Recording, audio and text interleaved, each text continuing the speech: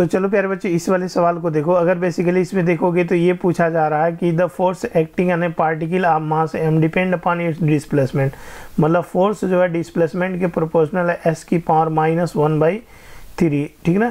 तो ये ऐसे फोर्स डिपेंडेंट है। तो power deliver depend upon displacement देखो पावर जो होता है लॉजिक क्या डेवलप करोगे? तो पावर जो होता है, वो dot product of two vector होता है that is force vector and velocity vector मतलब एफ़ वी का जो प्रोडक्ट है दैट इज़ द पावर मतलब तुम्हें फोर्स तो यहाँ से पता है तो फोर्स की वैल्यू सम कांस्टेंट के और एस की power minus one by three तो ये जो फोर्स है, ये वाली जो है, ये यहाँ से हमें पता चल गया।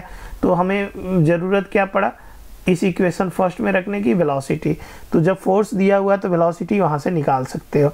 और फिर दोनों को रख के मल्टीप्लाई कर देंगे क्वेश्चन इज़ ओवर ठीक है? तो अगर यहाँ से तुम देखोगे तो चलो, यहाँ से फोर्स इक्वल टू एम में निकाल सकते हो। दैट के एस की power minus one by three यहाँ से आ गया, और यहाँ से जो एक्सलेशन ए आ जाएगा के अपान एम सब कांस्टेंट और एस की power minus one by three अब डिस्प्लेसमेंट है तो याद करो एक्सलेशन का फार्मूला डिस्प्लेसमेंट के टर्म में acceleration is equal to v d v over d s d v over d s ये एक बहुत इंपॉर्टेंट फार्मूला एक्सलेशन का आई होप कि आपको ये याद होगा। तो यहाँ से भी और यहाँ से d v over d s की वैल्यू मैं रख देता हूँ यहाँ से। तो यहाँ से आ जाएगा k upon m that is s की power minus one by three तो यहाँ से जो वेलोसिटी मुझे देखेगी, मैं उसको कैलकुलेट कर लूँगा। तो यहाँ से वेलोसिटी भी is equal to k upon B इधर रहने दो। के अपान एम इधर रहने दो। एस की power minus one by three और डी एस इधर रहने दो डिस्प्लेस में अब दोनों साइड इंटीग्रेट करोगे यहाँ से।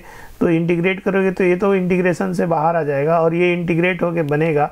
कितना बनेगा वेलोसिटी का इंटीग्रेशन इधर देखो तो अगर वेलोसिटी इंटीग्रेट होके यहाँ से बनेगा भी स्क्वायर अपान टू इधर बनेगा के अपान एम और एस की power minus one by three का इंटीग्रेशन तो एस की power minus one by three का integration minus one by three यहाँ से प्लस वन और माइनस वन बाई थ्री यहाँ से प्लस वन ठीक है तो यहाँ से भी स्क्वायर अपान टू इधर बच गया, और यहाँ से के अपान एम इधर आ गया और ये थ्री ऊपर चला गया और ये थ्री बाई टू इधर बच गया और एस की पावर यहाँ टू बाई थ्री बच गया, ठीक है ना? एस की पावर यहाँ से टू बाई थ्री तो कुल मिला के जो वेलोसिटी है, अगर रूट लोग यहाँ से तो के अपान एम और यहाँ से टू ने टू को काट दिया और यहाँ से थ्री एस की पावर टू बाई थ्री ये सब कुछ अंडर रूट आ जाएगा दैट इज़ वेलोसिटी तो और अच्छे से लिखोगे तो k upon m one by two और यहाँ से थ्री की पावर वन बाई टू और यहाँ से एस की पावर टू बाई थ्री था और इसका वन बाई टू करोगे तो ये टू टू ख़त्म हो जाएगा। तो फाइनली जो वेलोसिटी बचेगा वो के अपान एम यहाँ से थ्री थ्री के अपान एम अंडर रूट ले लो ना। यहाँ से और डिस्प्लेसमेंट की पावर यहाँ डिस्प्लेसमेंट की पावर यहाँ थ्री बचा। ठीक ना? तो ये वाली जो है दिस इज़ द वेलोसिटी तो अब यहाँ से तुम देखोगे ये कितना वेलोसिटी आ गया। ये वाली चीज़। तो ये जो वेलोसिटी आया यहाँ पर, अब तुम्हें याद करो वेलोसिटी आ गया और फोर्स तुम्हें पता था, दोनों को मल्टीप्लाई कर लो। तो पावर यहाँ से दिखेगा पावर की जो वैल्यू होती है फोर्स और मल्टीप्लाई की वेलोसिटी फोर्स तुम पहले से ही निकाल लेते देखो ऊपर के एस की power minus one by three और यहाँ से थ्री वेलोसिटी थ्री के अपन एम सब कुछ अंडर रूट और यहाँ से डिस्प्लेसमेंट की पावर थ्री तो यहाँ से तुम देखोगे यहाँ से थ्री के अपन एम और यहाँ से के स्क्वायर एम ये सब अंडर रूट ले लो। इसके को अंदर ले गया और एस की power minus one by three और यहाँ से प्लस थ्री ठीक ना? तो ये दोनों पावर जुड़ गए। तो कुल मिला के अगर तुम देखोगे तो ये कितना बनेगा?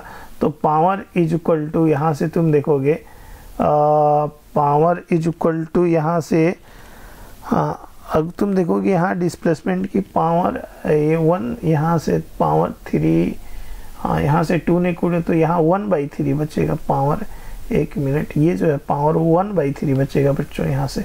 ठीक है? टू ने टू को काटा तो पावर वन बाई थ्री तो ये ये वन बाई थ्री ठीक है? तो ये वन बाई थ्री है तो ये ये, यहाँ से जो ये बनेगा वो डिस्प्लेसमेंट की power minus one by three और प्लस वन बाई थ्री तो ये कट कुट के ज़ीरो आ गया। तो power is is equal to three k की power three upon m under root और यहाँ डिस्प्लेसमेंट की पावर ज़ीरो मतलब वन तो power is proportional to s की पावर ज़ीरो तो आई होप कि आपको समझ में आ गया होगा। अच्छा क्वेश्चन था मतलब अपना डी ऑप्शन सही है। Thanks for watching this video bye take care